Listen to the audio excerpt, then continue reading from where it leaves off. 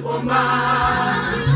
Wakati huu ni wakati wa kumlilia Bwana, huu ni wakati wa kuomba kweli, wala si wakati wa kucheka, wala si wakati wa kushangilia. Mungu leo hii aitazama dunia akitafuta